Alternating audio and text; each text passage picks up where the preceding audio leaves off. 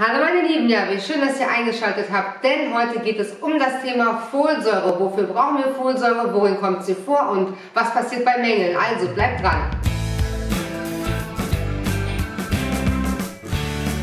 Ja, das erste Mal wirklich mit Folsäure in Kontakt kommt man tatsächlich, wenn man schwanger ist oder wenn man Kinderwunsch verspürt.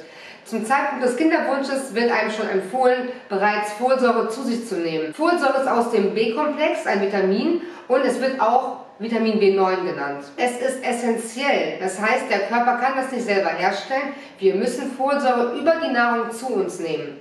Folsäure finden wir in Getreidearten, in Keimen, in Kleie, aber auch vor allem in Blattgemüse. Folsäure kommt auch aus dem lateinischen Begriff für Folium und Folium steht für Blatt, also gerade so dunkles Blattgemüse, Salate, Feldsalat, ähm, Spinat, Spargel, da finden wir überall Folsäure drin. In Blumenkohl, in Orangen und vor allem in Eigelb, ganz, ganz wichtig, Eigelb und vor allem in Leber, Geflügelleber, Rinderleber, Kalbsleber und vor allem in Kalbsfleisch und auch in Rindfleisch. Folsäure brauchen wir für das Zellwachstum und auch für die Zellteilung. Gerade wichtig bei immer wiederkehrenden Zellteilungsprozessen im Knochenmark zum Beispiel.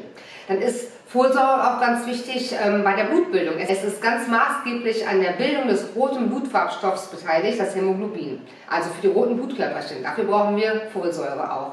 Der dritte Punkt ist zum Beispiel unser Immunsystem, gerade für unser Herz-Kreislauf-System. Dafür brauchen wir auch Folsäure.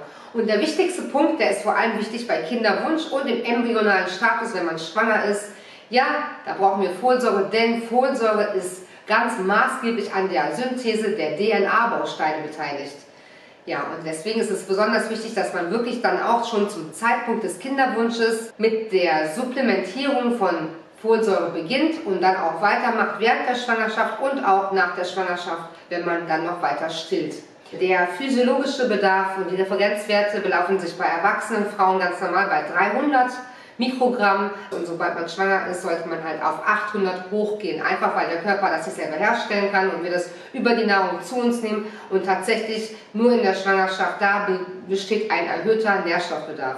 Ansonsten reicht es tatsächlich einfach aus der Nahrung sich die Folsäure zuzuziehen. Man muss jetzt nicht großartig supplementieren, ganz normal im Alltag, ganz normale Erwachsene Wer ein ganz normales Leben führt, der braucht das jetzt wirklich nicht. Aber wenn man schwanger ist, wenn man stillt, da sollte man auf jeden Fall Folsäure zu sich nehmen oder wenn man extremer Leistungssportler ist.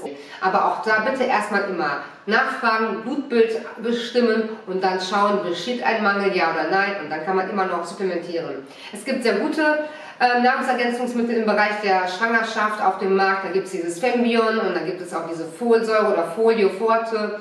Ich selber habe in der Schwangerschaft Folio genommen, die 800er und auch, das habe ich auch genommen nach der Schwangerschaft noch, das hat mir sehr gut geholfen. Ich denke, es hat mir gut geholfen, alles ist gut gelaufen, Gott sei Dank und es gab auch keinen Mangel. Aber ich habe mich auch vorher schon bereits gesund ernährt, das heißt viel Gemüse, viel Obst, auch Fleisch gegessen. Ich bin kein Veganer, ich bin kein Vegetarier, aber alles mit Bedacht. Okay, ihr Lieben, ich hoffe, ihr wisst nun, woraus ankommt in der Schwangerschaft, warum ist Folsäure so wichtig und falls ihr Fragen, Anregungen habt oder eine Idee für, für ein Video habt, dann schreibt es mir einfach unten in die Kommentare und ich freue mich dann, euch beim nächsten Mal wiederzusehen. Dann macht's gut und für alle Mamis da draußen, ich wünsche euch eine wunderschöne Kugelzeit. Tschüss und bis bald, eure Linda.